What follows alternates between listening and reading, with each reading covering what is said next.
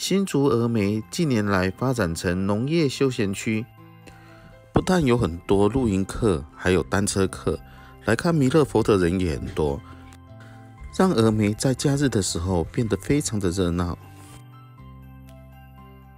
在这里有很多特色的景观餐厅，在漫游峨眉湖、欣赏湖光山色的时候，找个有特色的景观餐厅坐下来休息一下。喝个下午茶也是相当的不错哦。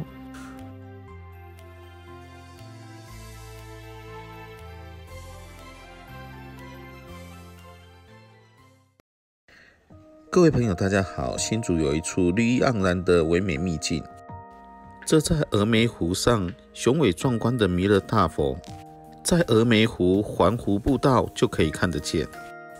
这民国四十九年才新建完成的大埔水库。是首座国人自行设计与新建的水库，也因为水库的蓄积，才形成了峨眉湖。峨眉湖青山绿水，景致迷人，令人流连忘返。在这周围有很多景观餐厅。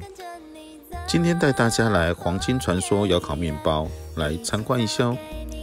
这黄金传说窑烤面包披萨下午茶营业时间，平日是早上十一点至下午五点。星期六日至早上八点半至下午六点，从门口一进来有广大的空地提供给游客停车。这里是外面的露天座位区，如果天气不错，大家可以在这里休息哦。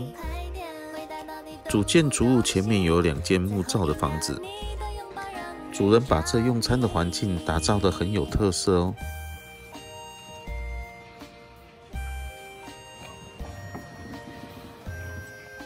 在进入主建筑物之前，有一个小小的庭院，里面有几张露天的座位。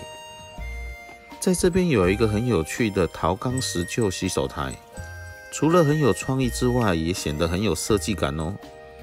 在防疫期间，店家要求在入内之前先要洗洗手哦。接下来，我们就带各位进去里面参观一下哦。店内的摆设有种客家风味，纸灯笼布满着天花板。木桌结合着花砖，还有复古的木框窗哦。这里有很多客人专程来这里买面包带回去吃哦。我们来的时间有点晚，面包已经卖的差不多了。黄金传说窑烤面包皆是由天然水果酵母以及老面透过柴窑烘焙而成。窑烤面包之所以好吃，是因为窑能够保持恒温且受热均匀。烤出来的面包外脆内软，还带有柴香哦。店内装潢以木质为主，有种复古的感觉。店内工作人员蛮会介绍的，除了菜单上的料理，对于第一次来的客人，也会特别介绍他们家的面包哦。黄金传说的面包都很大个，记得一次不要买太多。峨眉地区盛产柑橘，柑橘口味的窑烤面包，算是在地独特的口味哦。还有加入东方美人茶的面包也很好吃哦。这里除了卖面包之外，还有简餐、披萨等等。我们请店员切一小部分现场食用，其他做外带。店员把我们要食用的部分装入盘中，其余帮我们装在塑胶袋里面。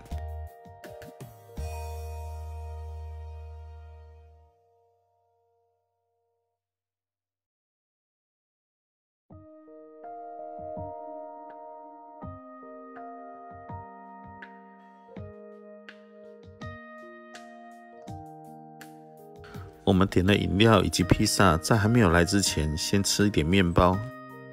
这后面墙壁的黑板上面写着“苗栗男装也有一家分店哦”。如果有去男装的话，也可以到里面去看看哦。这是我们点的洋甘菊柠檬草本茶。接下来的时间就是放松兼放空，什么事都不用做，尽情的享受下午茶时光喽。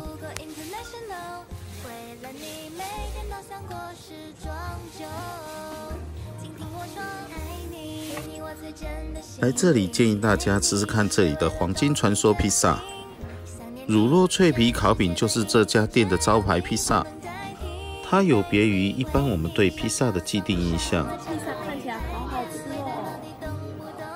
它的形状呈长条状，看似厚实的饼皮，其实它的饼皮是很薄的。用料很丰富实在，整体吃起来很清爽清脆，负担不重。我个人觉得来这里，披萨是绝对必点的哦。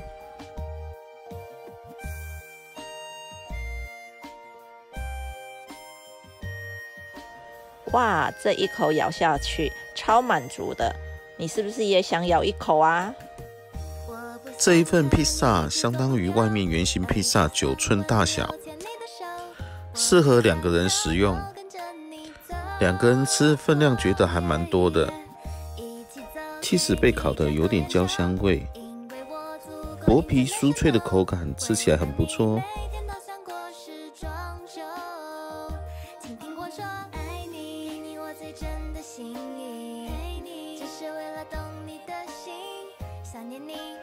今天黄金传说窑烤面包就为各位介绍到这里，希望各位会喜欢。喜欢的朋友别忘了帮我按赞及分享哦。好朋友也别忘了按下订阅以及开启小铃铛。感谢大家的收看，谢谢大家，谢谢。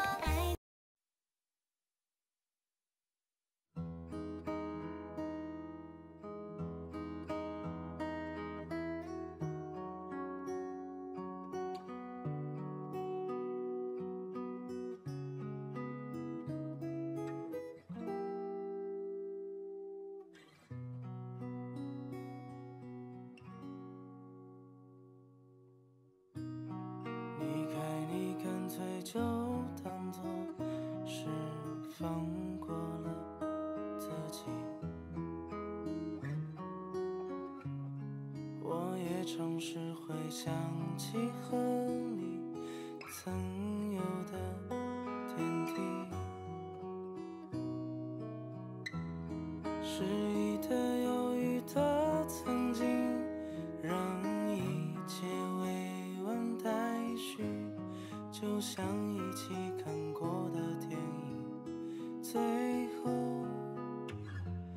是美好的结局你的样子一直